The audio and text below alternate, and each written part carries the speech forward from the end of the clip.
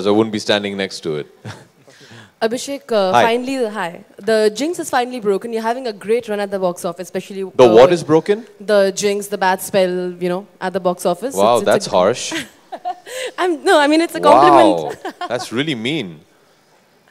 No, but then No, uh, that really is very mean.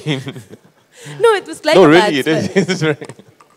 Spell. It's very Okay, but moving forward, it's like the 100 crore club. So you finally entered it again, and you know, uh, Salman has been doing uh, great with the 100 crore club. Congratulations. Thank you. So, a little on the 100 crore club. Is it now? Are you planning? Well, uh, I've, I've just asked um, my, my, my team to find out the address of where this club is.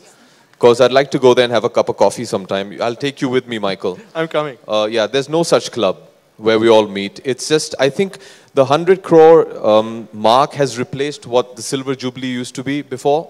You know, it's like a milestone.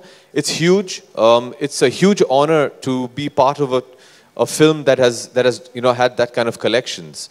Um, and I'm very honored and very, very happy.